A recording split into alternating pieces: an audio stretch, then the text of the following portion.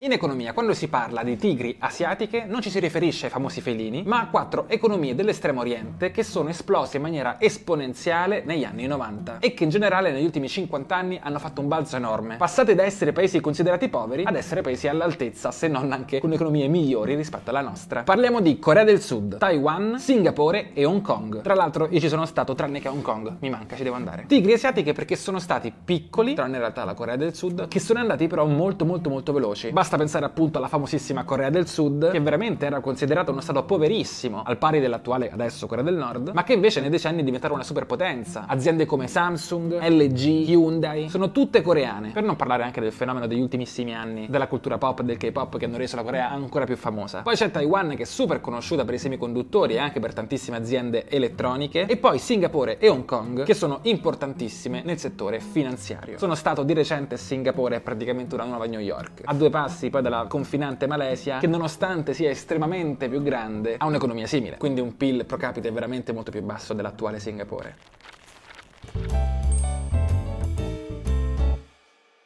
Queste quattro economie hanno visto le classiche dinamiche di uno Stato che cresce super velocemente, come città che in pochi decenni da zero passano a milioni di abitanti. Strade che erano una volta sterrate con i risciò, adesso sono asfaltate con supercar o treni monorotaia di ultima generazione che vanno velocissimo. Quelli che una volta erano terreni principalmente dedicati all'agricoltura, adesso sono enormi città o centri industriali specializzati in tecnologia. Perfetto, partiamo dalle origini, partiamo dagli anni 60. Come abbiamo detto, la Corea del Sud era considerata appunto uno Stato povero e proveniva anche da dieci anni di crisi. Aveva un'economia principalmente agricola e la stessa condizione si applicava a Taiwan e al resto delle tigri. Tutte e quattro le tigri asiatiche da metà degli anni 60 iniziarono a promuovere delle politiche verso l'industrializzazione e la modernizzazione, che in poche parole significa cercare di smettere in tutti i modi di essere uno stato solo agricolo, ma di investire anche nell'industria e nei nuovi mercati. I decisori politici di quel tempo presero spunto dalla Germania e dal Giappone, studiando approfonditamente le riforme messe in campo dai paesi più industrializzati e che li hanno resi tali, provando a portarle nella regione asiatica. In realtà lo stesso discorso in quel periodo si applica anche ad altri stati asiatici come la Thailandia, la Malesia, l'Indonesia, che però sono giganteschi e quindi non sono propriamente considerate tigri asiatiche, non sono neanche poi cresciute in maniera così esponenziale negli anni a seguire, però hanno vissuto cicli e dinamiche molto simili. Cioè in realtà ogni stato del sud-est asiatico ha avuto il proprio sviluppo diverso, però ovviamente ci sono stati dei pattern che hanno legato tutti questi territori. Quindi come dicevamo negli anni 60 in Corea, in Malesia in Thailandia venivano riformati i sistemi agricoli agricoli, incentivando la proprietà privata e il commercio. Inizia ad arrivare anche un florido periodo industriale, dove nascono società meccaniche, di automobili e di componentistica. Specialmente in Corea del Sud queste società non nascono con il libero mercato in maniera completamente spontanea, ma fanno parte di un vero e proprio programma dello Stato. Infatti queste grosse società inizialmente sono guidate e sussidiate proprio dallo Stato. Infatti è proprio nel 1967 che nasce la Hyundai Motor Company, l'attuale Hyundai, gigantesca società automobilistica. Non nasce da zero ma come sviluppo della Hyundai Engineering and Construction Company. Infatti la strategia del governo coreano a quel tempo fu proprio quella, prendere alcune società che già esistevano in Corea, alcune famiglie che già operavano in determinati settori chiave e solamente per quelle aziende venivano applicate delle regole extra e venivano aiutate in modo che crescessero il più possibile. Tant'è che ad oggi la Corea, a differenza dell'Italia, non ha una rete di piccole e medie imprese, ma è guidata appunto da queste grandi mega aziende che sono nate proprio dagli anni 60 fino ad oggi. Infatti esiste proprio una parola che si chiama Chaebol, si scrive Chaebol, lo trovate anche su Wikipedia, e questa parola si riferisce proprio a quelle grandi aziende sudcoreane di proprietà di grandi famiglie coreane che storicamente le hanno fondate e di cui sono proprietari, che governano praticamente lo Stato. Parliamo di Hyundai, Samsung, LG, Lotte e tante altre che sono meno famose qua in Occidente, che poi in Corea è anche diverso, aziende come Samsung hanno tutto, non fanno solo i telefoni, ma anche le armi, i palazzi, le macchine, tutto. Comunque, tornando anche alle altre tigri asiatiche, un'altra cosa fondamentale che avviene sono le riforme da un punto di vista dell'istruzione istruzione. Questa volta influenzate non dagli stati occidentali, ma influenzate dalla Cina, che nello stesso periodo ha fatto la stessa cosa. Investire nell'istruzione è fondamentale per avere delle generazioni future specializzate e in grado di sostenere i cambiamenti del mercato. E tornando infatti alla Corea del Sud, nel 1987 arriviamo già a un 90% di persone che hanno almeno un livello di istruzione secondaria, che è un risultato straordinario considerato che 20 anni prima erano praticamente a zero. Arrivati quindi tra la fine degli anni 80 e l'inizio degli anni 90, inizia un'altra fase fondamentale per la crescita di questi stati stati, cioè l'attrazione di capitali esteri. Infatti, una volta cresciuta e ottenuta una forza lavoro specializzata, è molto più facile iniziare ad attrarre capitali esteri per investire nei nuovi settori e nelle nuove imprese, facilitando quindi il progresso tecnologico. Non a caso tutte e quattro le tigri asiatiche sono specializzate in tecnologia. Dopodiché c'è un altro punto chiave fondamentale che ha determinato la ricchezza e la crescita esponenziale di questi stati, cioè l'esportazione verso l'estero. Infatti, una volta fondate e fatte crescere grandi società tecnologiche, le economie si sono orientate verso l'esportazione, verso mercati già sviluppati come gli Stati Uniti e l'Europa. In tutto ciò questi stati riescono a indebitarsi molto poco, sostenendo la loro crescita con i proventi delle loro industrie. E così tra gli anni 80 e la fine degli anni 90, l'economia delle tigri asiatiche cresce di anno in anno a doppia cifra. Ricapitolando, la prima fase è stata quella di passare da un sistema esclusivamente agricolo a uno più industriale, favorendo quindi la nascita di fabbriche e un settore secondario, e incentivando anche la privatizzazione e il libero commercio. La seconda fase è stata quella dell'istruzione, creando una generazione di personale specializzato in grado di lavorare nel settore tecnologico. La terza fase è stata ottenere investimenti esteri per far nascere e fiorire aziende tecnologiche e la quarta fase stata esportare il più possibile all'estero verso stati già sviluppati come Europa e Stati Uniti. Confrontiamo in questi anni la crescita delle tigre asiatiche contro quella di stati come dell'Italia, della Francia e degli Stati Uniti. Tra il 1980 e il 97 il PIL della Corea del Sud è cresciuto in media dell'8,6% annuo, quello di Taiwan del 6,4% annuo, quello di Singapore dell'8,3% annuo e quello di Hong Kong del 5,2% annuo, sempre in media. Nello stesso periodo l'Italia ha registrato un tasso di crescita media del 2,2% annuo, mentre la Francia del 2,4% annuo e gli Stati Uniti del 3,1% annuo. Ovviamente stiamo parlando di stati che partivano da punti di partenza completamente differenti, ma nonostante ciò stiamo comunque parlando di un piccolo miracolo. Ad oggi per esempio Singapore è uno stato con un PIL pro capite decisamente più alto rispetto all'Italia. A fine anni 90 sembra tutto perfetto, però la realtà è che dal 97 in poi inizia ad esserci qualche problema. Tutto inizia dalla crisi in Thailandia, in particolare con un problema legato alle valute. Infatti la maggior parte delle valute del sud-est asiatico del tempo erano legate, in gergo pegged, al dollaro e mentre questi stati crescevano a dismisura, in realtà gli Stati Uniti stavano vivendo un momento economico completamente diverso. Infatti se negli anni 90 gli Stati Uniti hanno avuto un periodo deflazionistico, un po' di depressione, nel periodo post-depressione c'è stato invece un moto al contrario inflazionistico che ha fatto perdere di valore al dollaro. E cosa succede quando aumenta l'inflazione? Lo sappiamo benissimo in questi anni, è successo proprio in questi ultimi due anni di nuovo in tutto il mondo, le banche centrali aumentano i tassi di interesse, rendendo quindi più difficile per uno Stato investire all'estero perché gli diventa più conveniente tenere i propri soldi, la propria valuta in casa. Quando i tassi erano bassi, moltissimi fondi americani prendevano soldi in prestito a dei tassi bassi per investirli nei mercati asiatici, dove crescevano molto più velocemente. Una volta invece che i tassi si sono alzati a dismisura, questo processo non era più possibile, o quantomeno non era più tanto conveniente quanto prima. Quindi in questa nuova fase i capitali rivolano verso gli Stati Uniti dalle tigri asiatiche, apprezzando il dollaro ed essendo però le valute del sud-est asiatico legate al dollaro, si apprezzano anch'esse, rendendo però molto più difficile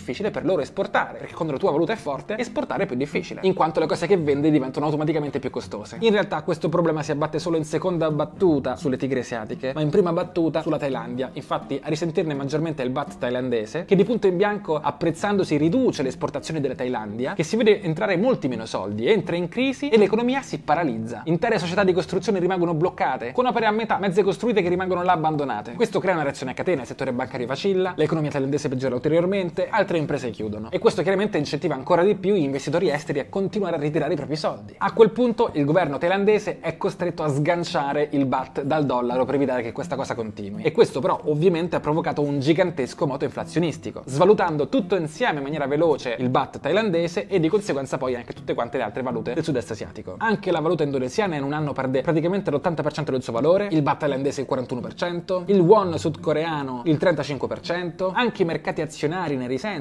quelli della Corea, Hong Kong e Singapore perdono circa in media il 40% e ovviamente crolla anche il PIL. Pensate il PIL dell'Indonesia in solamente un anno è crollato del 43%, quello della Thailandia il 21% e quello della Malaysia il 19%, la Corea del Sud il 18.5% e le Filippine il 12%. Insomma, tutti i paesi asiatici vengono colpiti in maniera diversa. La crisi diventa così profonda e così contagiosa che arriva fino anche agli stati occidentali, allarmando quindi il Fondo Monetario Internazionale, di cui abbiamo parlato anche in un nostro video, che ha iniziato a dare sussidi e veri e propri salvataggi a vari stati per evitare che andassero in default. Fortunatamente però non dura troppo questa crisi. In breve tempo le tigre asiatiche, forte della grande crescita avuta in precedenza e anche del fatto che in tutto ciò non si erano praticamente indebitate, riescono in poco tempo a ricominciare a crescere ugualmente velocemente, raggiungendo però poi anche loro il loro stato di plateau, diventando infatti grandissime economie come quelle che sono oggi. Questa storia è veramente interessante, se avete mai fatto un viaggio a Singapore, Hong Kong, Corea del Sud come ho fatto io, è ancora più interessante per capire un po' la realtà che andate a vedere. Fatemi sapere cosa ne pensate nei commenti, se conoscevate questa storia storia, se ci sono altri dettagli che conoscete e ci vediamo con il prossimo video. Ricordatevi di iscrivervi al canale e di guardare tutte quante le informazioni in descrizione. Se questo video ti è piaciuto, segui il canale di Investiamo, lascia un like e scrivici un commento per fare domande o dirci la tua.